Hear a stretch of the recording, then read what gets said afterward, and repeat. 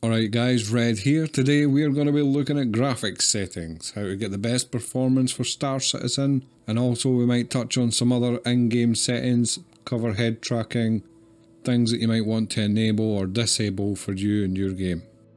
So before we begin we want to bring up the video control panel, and you're going to want to come down to shader cache size. You're going to want to put this to 10 gigabyte and apply. In program settings, you're going to want to add squadron 42 and you're going to want to prefer maximum performance, triple buffering on and vertical sync fast.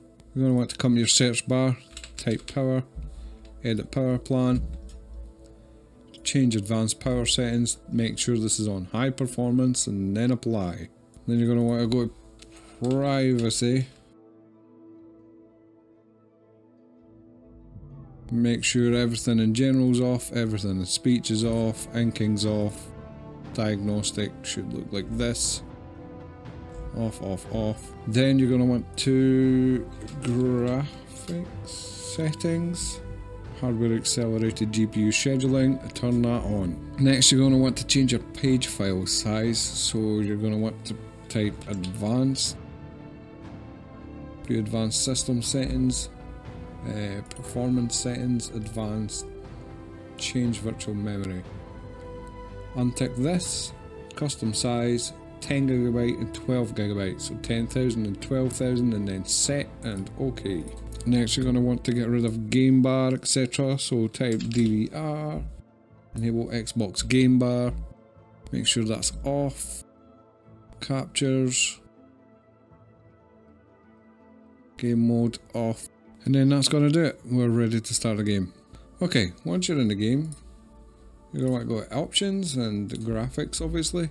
Now from what I can tell, it's usually the best idea to just put the settings as high as you can.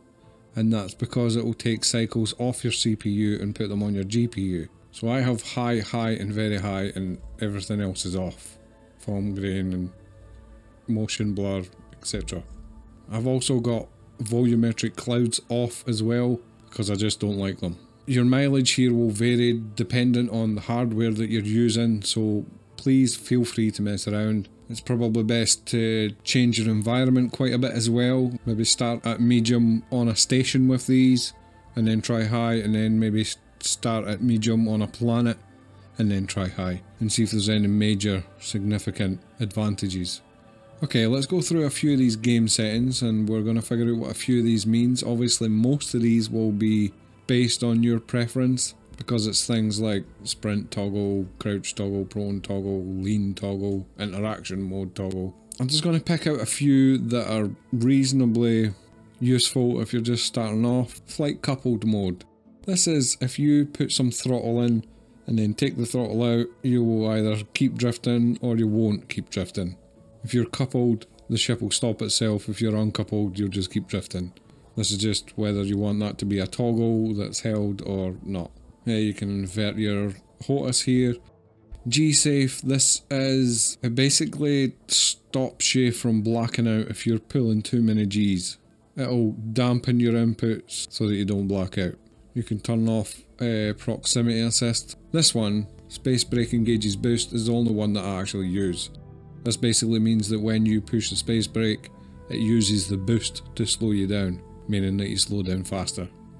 Enhanced stick precision, this is really useful, you're probably going to want to dial this in at some point, especially if you're doing PvP. We're not going to cover it in this video, it's a pretty technical explanation and it involves a lot of messing around with your own hardware to figure out what it is that you want from this. I'm quite happy with the default but it basically dampens your input when you're close or almost on target so that you don't oversteer or overshoot. And I don't think there's anything else in here that's immediately essential.